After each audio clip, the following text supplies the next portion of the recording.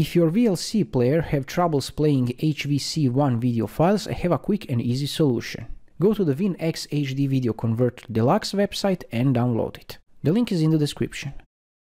When the download is complete, run the installer and follow instructions to install it. When it's done, open WinX HD Video Converter Deluxe, open folder with your HVC1 videos, select them and drag them to the WinX converter. Once the HVC1 videos are loaded, you'll be taken to the output format window. Since VLC support almost all video formats, just select any video format. For example, you can go to General Profiles and choose MP4 video. If it's a HEVC HVC1 video in 4K 2K, you can choose 4K MP4 video or 2K MP4 video. It also supports converting HVC1 videos to HEVC format. I'll choose recommended MP4 video format.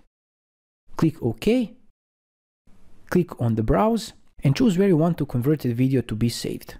And just click run. Wait for process to finish and if I open my destination folder you can see original and converted video files. After the conversion you can play the HVC1 converted video on VLC without any problems.